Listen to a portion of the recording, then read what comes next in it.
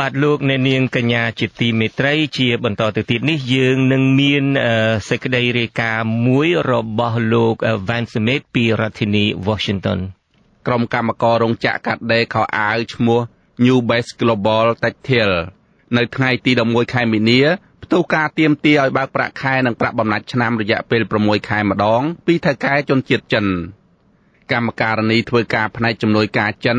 លោកស្រីថោស្រីលក្ខ ឲ្យដឹងថាថៅកែរោងចក្របានព្យួរការងារកម្មករអស់រយៈពេល1ខែហើយគឺគិតចាប់ពីថ្ងៃទី11ខែកុម្ភៈដល់ថ្ងៃទី10ខែមិនិនាលោកស្រីបន្តថានៅថ្ងៃទី11ខែមិនិនា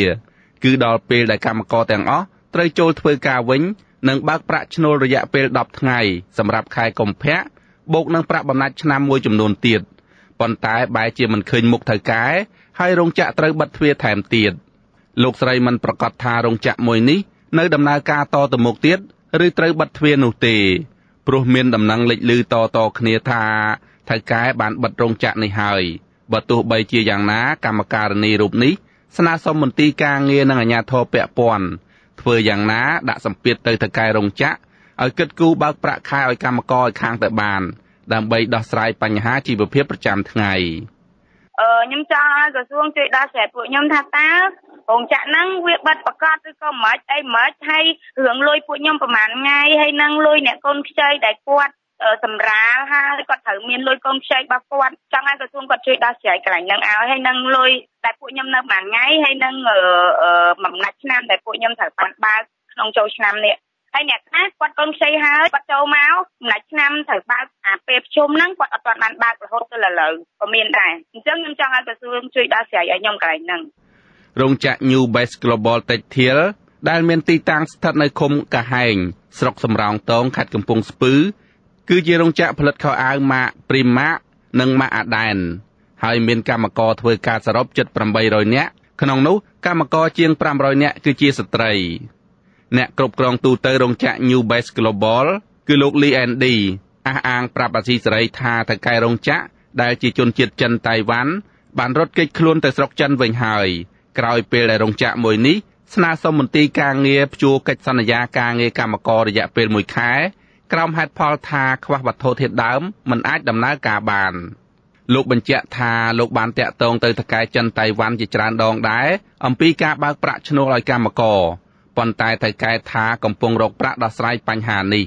លោកថារហូតមកដល់ពេលនេះมันមានដំណឹងណាមួយពីថកែនៅឡើយទេ អ្នកគ្រប់គ្រងរោងចក្ររូបនេះដែលនៅមិនទាន់ទទួលបានប្រាក់ខែដោយកម្មករដែរនោះបញ្ជាក់ថាខាងលោកបានជូនដំណឹងនេះទៅអង្គការអន្តរជាតិខាងការងារហៅកាត់ថា ILO និងក្រុមអ្នកបញ្ជាទិញមួយចំនួនឲ្យជួយអន្តរាគមន៍ដោះស្រាយបញ្ហានេះដែរខ្ញុំអាចសន្និដ្ឋានថាអ្នកជួក្រោយហ្នឹងហើយនឹងគាត់ហ្នឹងគឺមានតាក់ទងនឹងគ្នាអញ្ចឹងបានន័យថាអាអាអាពាក្យក្រសួងគេអាសានិយាយថាប្រែកាយណានៅខាងពុនដាគេគេអាសានិយាយថាប្រែកាយបានន័យថាអឺ កូនចាស់គាត់មានបញ្ហាគុណតាមានអីខ្លាំងអញ្ចឹងទៅអញ្ចឹងហើយគាត់សម្បត្តិឈ្មោះចាស់គាត់អញ្ចឹងហើយគាត់គាត់ហៅមនុស្សមួយទៀតមកឈរឈ្មោះពីមុខគាត់ហើយគាត់ទៅជាពីក្រោយអញ្ចឹងណាហើយដូរឈ្មោះទៅជារោងចក្រផ្សេងអញ្ចឹងគាត់នឹងអាចរួចពីពុនរួចពីថ្លៃកម្មកររួចពីអីអ្វីអ្វីទាំងអស់បាទខ្ញុំអាណិតកម្មករខ្ញុំដែរគ្នាអត់ដែរនិយាយទៅទាំងខ្ញុំអីហ្នឹងប្រាក់ខែខ្ញុំក៏អត់បាន10ថ្ងៃហ្នឹងខ្ញុំអត់បានប្រាក់ខែ10ថ្ងៃដែរ ទន្ទឹមនឹងគ្នានេះក្រុមកម្មករនាំគ្នាទៅរកកិច្ចអន្តរាគមន៍ពីមន្ទីរការងារខេត្តកំពង់ស្ពឺនៅថ្ងៃទី11មិនិនាប៉ុន្តែខាងមន្ទីរប្រាប់ឲ្យកម្មកររងចាំមន្ត្រីការងារចុះទៅដោះស្រាយនៅព្រឹកថ្ងៃទី12មិនិនាជុំវិញរឿងនេះអាស៊ីសេរីមិនអាចសុំការឆ្លើយតបពីប្រធានមន្ទីរការងារខេត្តកំពង់ស្ពឺលោកចិត្តបរិនបានទេ ដោយលោកមិនលើកទូរស័ព្ទ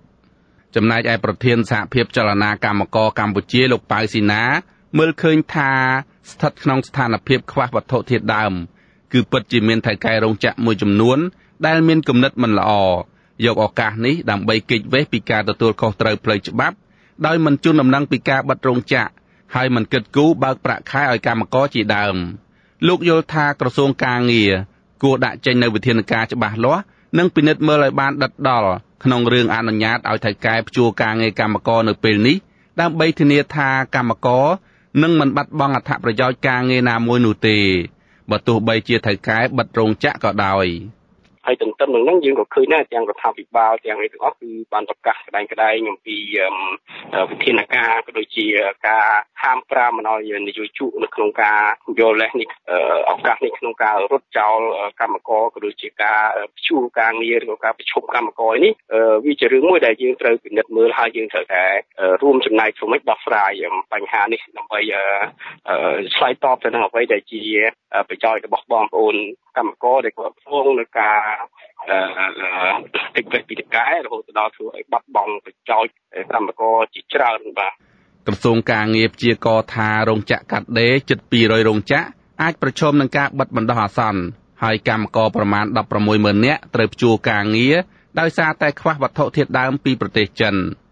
ក្នុងកលៈទេសៈនេះលោកប៉ៅស៊ីណាស្នើដល់រដ្ឋាភិបាលឲ្យបញ្ចេញកញ្ចប់ថវិកាបំរុងណាមួយ ដើម្បីជួយដោះស្រាយផលប៉ះពាល់ភ្លាមៗដល់កម្មករដែលត្រូវថកែខកខានមិនបានបើកប្រាក់ខែឲ្យដោយយកលេសជួការងារព្រោះខ្វះវត្ថុធាតុដើម ហើយរត់គេចពីការទទួលខុសត្រូវតាមផ្លូវច្បាប់ខ្ញុំបាទវ៉ែនសុមេតអាស៊ីសេរីពីរដ្ឋធានី Washington